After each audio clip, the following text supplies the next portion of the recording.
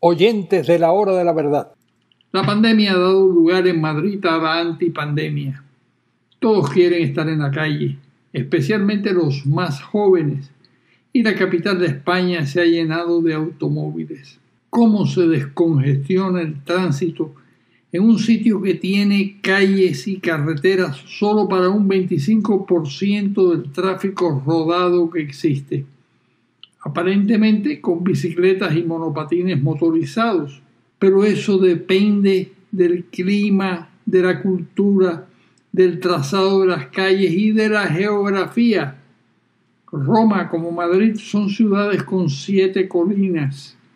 Ahí es muy difícil andar en bicicleta o en monopatines.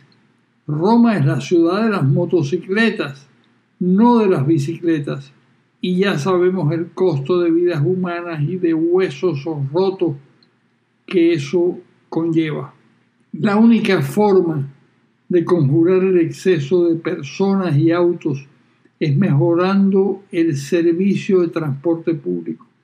Madrid funciona bastante bien, pero hay que multiplicarlo para que sea realmente eficaz. Siempre que se piensa en bicicletas y monopatines motorizados, se piensa en el norte de Europa y viene a la mente el ejecutivo danés que va a su trabajo en Copenhague en bicicleta. Y eso está muy bien, pero hay que saber que ese ejecutivo danés tiene a su favor una honda cultura de tránsito ordenado y respeto a las normas. Y no sucede lo que ocurre en Colombia, donde en el último año han matado 249 ciclistas. En Miami las ciclovías no funcionan. ¿Acaso porque hay un número de imponente de hispanos? Tal vez, pero no solo por eso. No funciona porque el automóvil es la forma vital de transporte y porque el clima no se presta. Es demasiada la humedad y es excesivo el calor. El ejecutivo miamense y el obrero corriente prefieren llegar a su trabajo en un auto con aire acondicionado antes que en otra forma de transporte.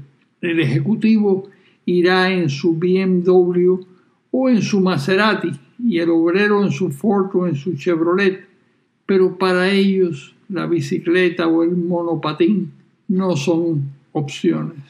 Les habló Carlos Alberto Montaner.